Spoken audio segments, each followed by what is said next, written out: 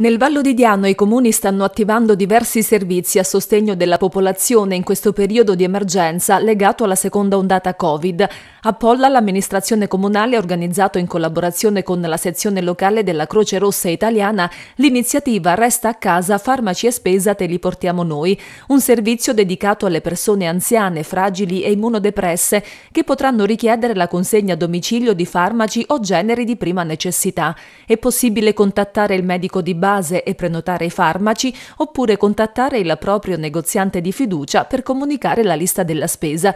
I volontari della Croce Rossa si recheranno a ritirare farmaci e spesa che poi saranno consegnati direttamente a casa degli interessati. La consegna sarà concordata con i volontari. Il numero per ricevere l'assistenza è il 377 3888 179, attivo da lunedì a sabato.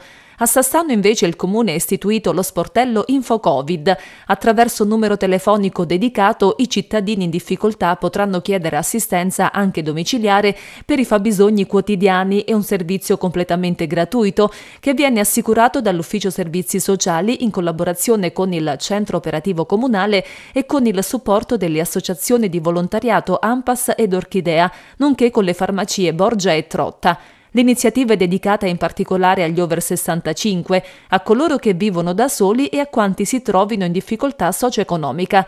Il numero di InfoCovid è 0975 78809 ed è attivo da lunedì al venerdì dalle 9 alle 12.30. I cittadini potranno ad esempio ricevere assistenza per gli acquisti di generi alimentari e di farmaci o per la loro prescrizione con la consegna a domicilio, ma anche per il pagamento di utenze e di altre incombenze presso gli sportelli postali o bancari.